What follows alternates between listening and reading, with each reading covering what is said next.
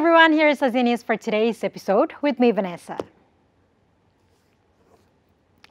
G20 chair Indonesia seeks standardized health travel requirements. Currently serve as a Chief Operating Officer for Digital Transformation Office. Indonesian Health Minister said group of G20 major economies chair Indonesia has started talks with members on standardizing health protocols for travel, stressing the importance of harmonizing rules and technology as global travel resumes. Indonesia takes this.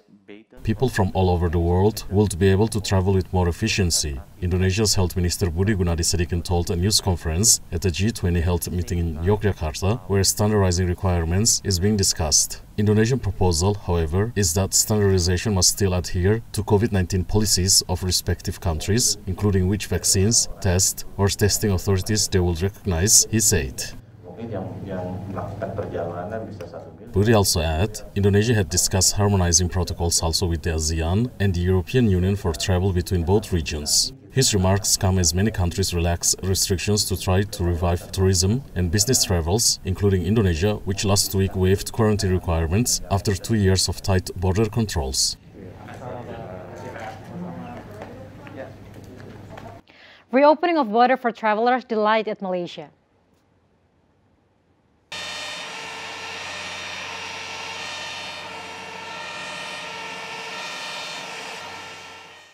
Malaysia reopened its first border fully on this month and allowing entry without quarantine for visitor vaccinated against COVID-19, much to the delight of travelers.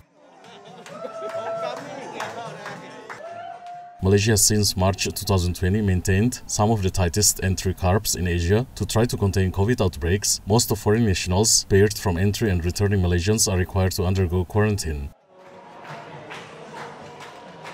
Dia tengah dua tahun kemarin kan lepas dua tahun tu nggak bisa For two years, we have been unable to leave the country or go on holidays, but now the vibe is very pleasing. We are very happy as this is what everyone has been missing. kita mau visit mereka kita mau puasa bareng pengen sholat taraweh bareng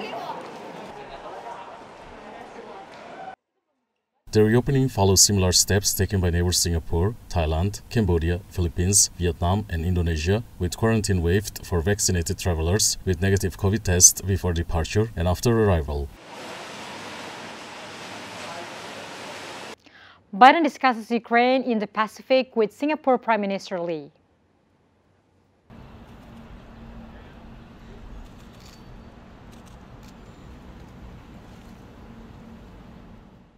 United States President Joe Biden discussed Russia's invasion of Ukraine and China's role in the Indo-Pacific with Prime Minister Lee Hsien-loong of Singapore at the White House. The two leaders sat down for talks in the Oval Office and were later to deliver remarks in what was described as a joint press statement.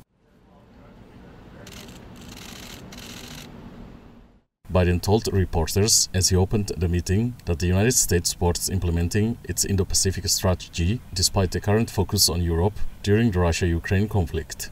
In addition, Biden added more even as we address the crisis in Europe, my administration is strongly supportive of moving rapidly to implement the Indo Pacific strategy.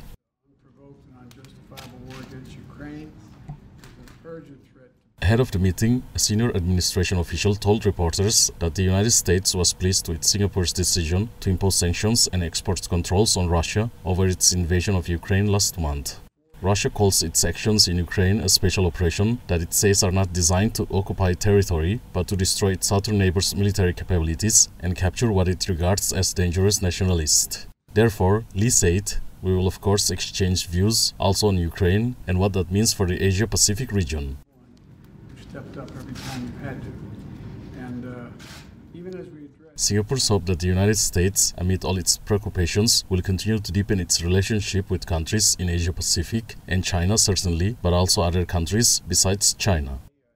Singapore is a key financial and trading center and has been keen to hear details of US plans for an Indo-Pacific economic framework in a region Washington says remains a key priority despite the Ukraine crisis. The Biden administration announced an Indo-Pacific strategy in February in which it vowed to commit more diplomatic and security resources to the region to counter what it sees as China bid to create a regional spheres of influence. Biden had been due to host leaders meeting of the 10 ASEAN nations, of which Singapore is a member, this week. But the summit was postponed because not all leaders could attend on the march and announced by the White House.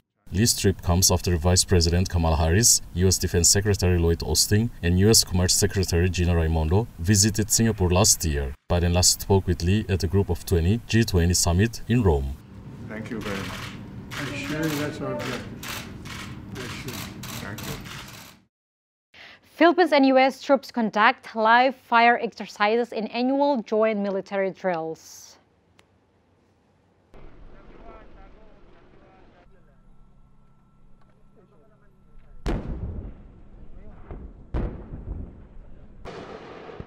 United States and Philippines troops conducted live fire exercises during annual military drills between the two treaty allies. The annual Balikatan or shoulder-to-shoulder exercises involved 8,900 troops this year and included live fire exercises and training with amphibious assault vehicles. Said Philippine Armed Forces Chief of Staff General Andres Centino that this one of way of ensuring that we can operate jointly with our allies during a press briefing after the military exercises. that uh, we can uh, uh, operate uh, jointly with In the past, President Rodrigo Duterte had scaled back some earlier war games with the United States to pursue warmer ties with China, but last year he withdrew a threat to scrap a two-decade-old pact governing the presence of US troops in the Southeast Asian country.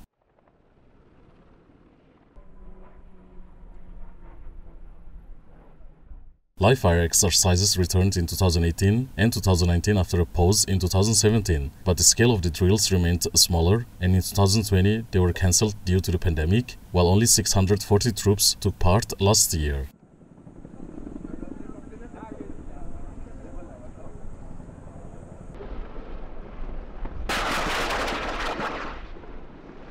Singapore gears up for reopening of borders to all vaccinated travelers.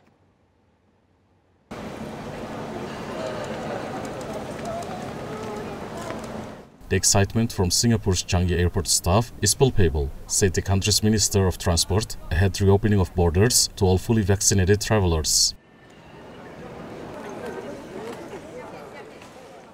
Singapore will reopen borders and lift quarantine requirements for all vaccinated travelers, joining a string of countries in Asia, moving more firmly toward the living with the virus approach. Singapore Minister of Transport S. Iswaran said, I've met the retail chaps, I've met the ground staff, the airport staff, and it's clear the excitement and the optimism is palpable because I think they all want to see Changi Airport buzzing again.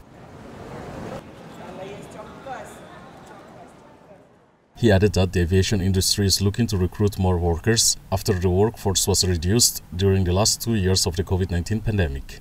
Singapore this week also dropped requirements to wear masks outdoors and allowed larger groups to gather. Ukraine will soon be able to better protect its skies. Yes, yes, yes, of course.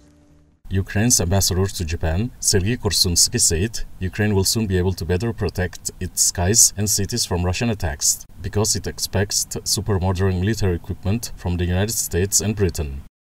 They still have superiority in air force, in airplanes and missiles, and we expect those days we begin to receive uh, super modern equipment from United States and soon it will be from Britain uh, to protect our skies, uh, our cities against those, uh, this kind of attack.